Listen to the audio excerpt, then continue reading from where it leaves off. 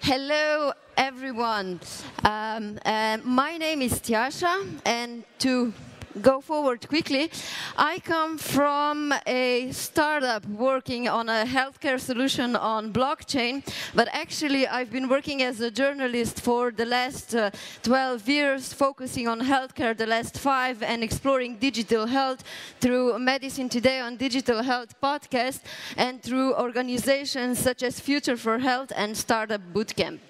But what I really want to do today is take you on a short journey on the development of digital health in, let's say, the last 20 years. So this is a picture of a children's hospital in Ljubljana taken 15 years ago. It's a black and white classical uh, uh, photo because digital health photography was not um, mainstream at that time yet. Everything was done on paper. There was no Facebook, there was no Wi-Fi. We didn't use laptops. So basically, how uh, children were spending their time in hospitals were, was just hanging around.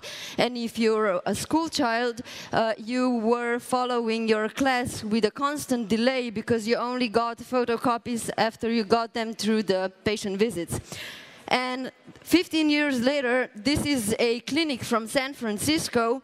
You get into the clinic, you log in through an iPad, you get scanned through this scanner, and when the doctor talks to you, he, there is no barrier between the two of you. So technology is used in a way that is seamless and is not disturbing the patient-doctor relationship. So when we're talking about the development of digital health, there's augmented reality being used for medical education and for surgeries. We've got drones, such as this case, this is from Rwanda, for delivering blood supplies.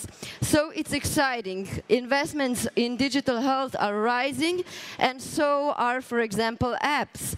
And um, there's other solutions going from wearable sensors to now ingestible sensors, sensors in the room around us.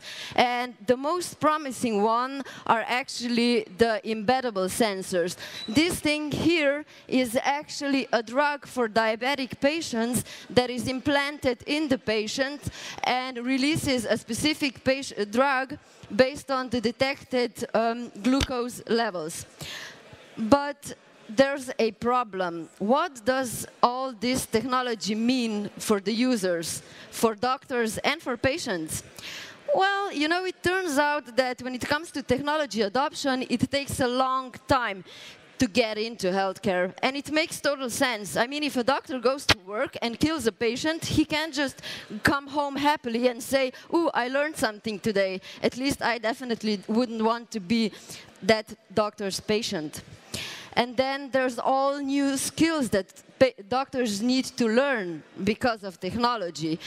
If you have telemedicine, it can be very convenient for the patient, but on the camera, everything's magnified. If you ever had a business meeting over Skype, what were you looking at? You were looking a bit at how you look, in the screen and you were looking at if the person on the other side is at home, if he's in the office, and what kind of office it is. So this creates new challenges to doctors, not to mention that most IT solutions that are meant for data gathering, which is what we've heard a lot about today, are meant as something that's built on top of already existing workflows, creating stress and a lot of burden.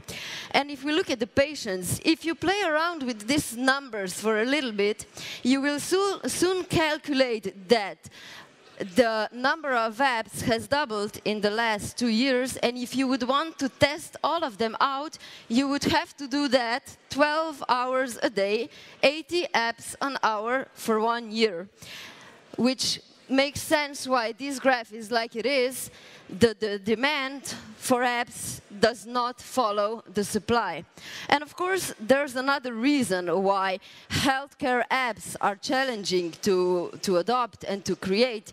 It's because when you have an app, it usually either requires you to do something, so it's an additional burden, and most of all, it reminds you that you're not doing something or that you're potentially doing something wrong. And there's nothing fun about constantly being reminded that you're sick.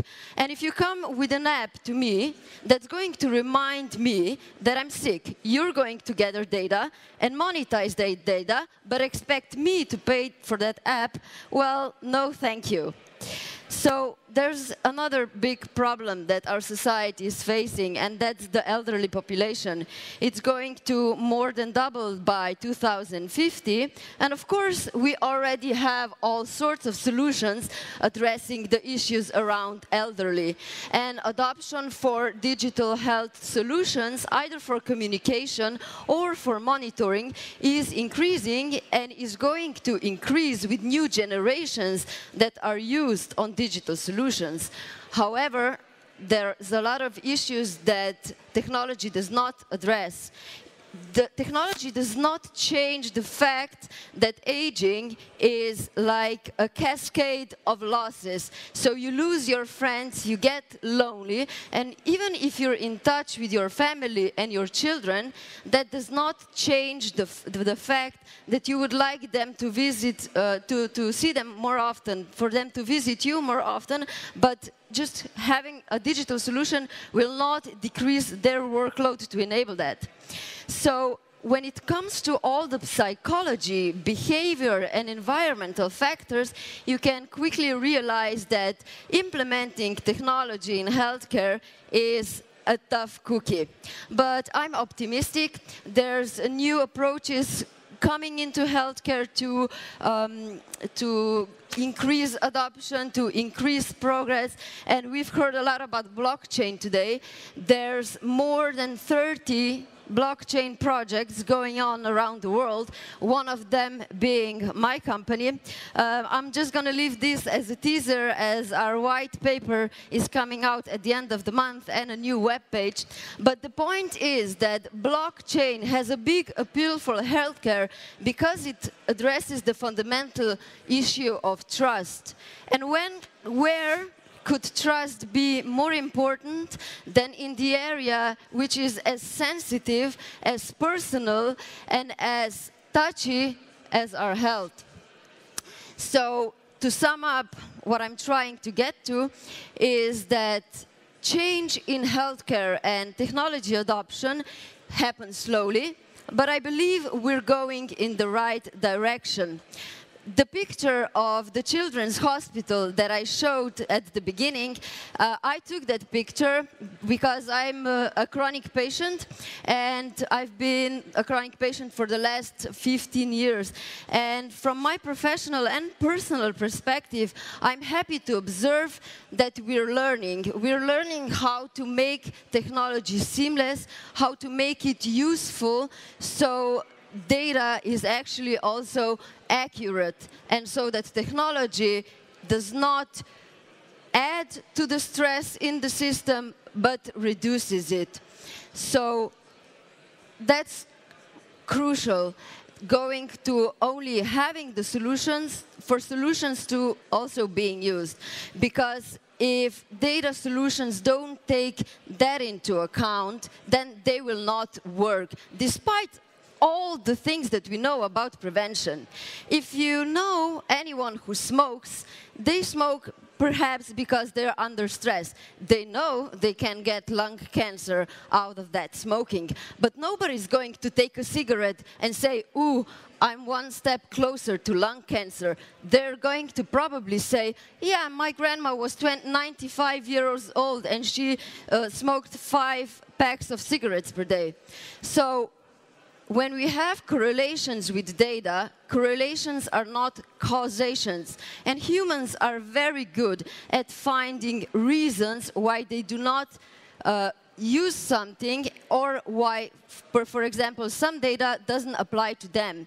You have oncology patients that will not take drugs and prefer alternative medicine despite a lot of data showing that that decreases their chances of survival.